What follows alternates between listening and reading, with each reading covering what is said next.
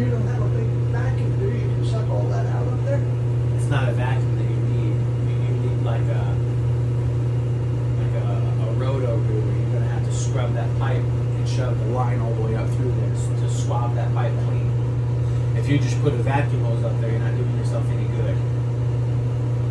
Just because the wind, the, the lint going through there is wet. It's it gets sticky. It sticks to the sidewall. You put a vacuum on it, you're not going to be able to pull that off the wall. You got to scrape it off the wall. So when you call a professional to come out and clean your vents, that's what they do. They get like a the tip of that brush is like a cobweb duster, and they have it on fiberglass rods. They'll put it on the end of a drill, and they just they shove it all the way up off the roof, and they bring it back down. Everything then falls, and they vacuum up their mess behind it. That's how they clean ventilation.